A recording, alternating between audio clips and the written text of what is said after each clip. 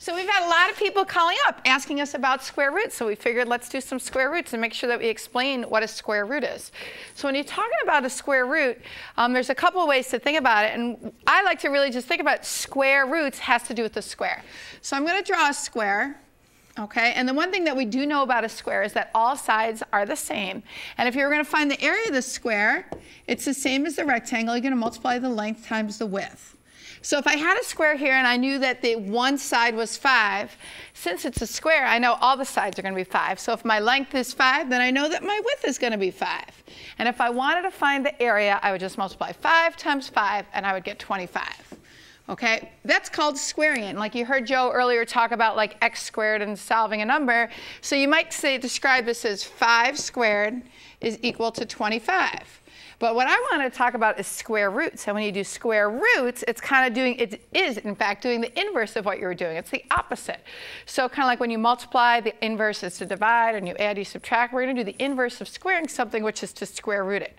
Which means if I had a square, and I told you its area was 25, and I told you it was a square, what would the sides have to be? So then you really got to think about all the factors of 25, and there aren't that many.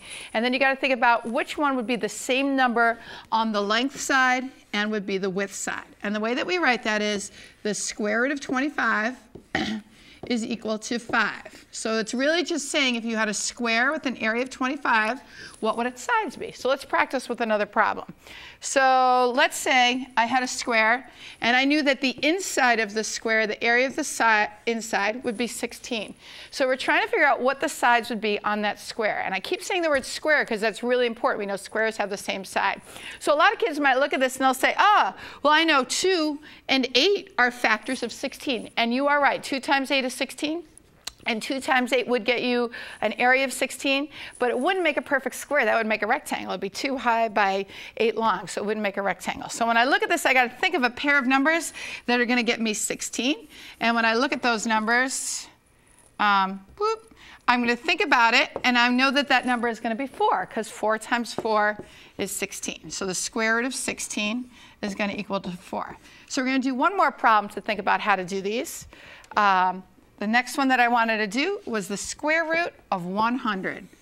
So we're just going to go right to writing square root of 100. So you don't have to draw a square, but if that really helps you out to think about it, okay, you could do that. So I'm thinking of a square, and I got to think of what two numbers that multiply it. And you can run through the factors in your head. You could say 2 times uh, 50. A lot of kids will write 50 and 50, but that's not going to multiply to equal 100. And I know that the numbers, and they have to be the same, is going to be the number 10. So the square root of 100 is equal to 10. So that's square roots. You're just thinking about a square, the area of the square, and what the dimensions of one of the sides would have to be.